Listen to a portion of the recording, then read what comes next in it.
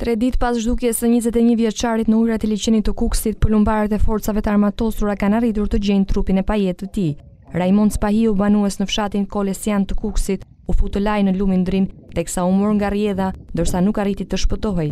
Trupi i pajetë i të riut u gjet në vendin e quajtur Ura e Ujmishtit këtë të diel pas kërkimeve të forcave të ushtrisë. I riu ndodhej tek halla e tij në fshatin Ujmisht teksa zbriti në drejtim të liqenit për t'u larë.